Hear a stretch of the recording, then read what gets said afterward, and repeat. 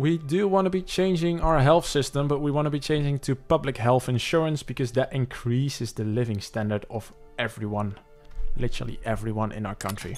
And a higher living standard means happier people, less revolts, and more migration as well because people or the population of the rest of the world sees that we are doing well. So they want to migrate to our country.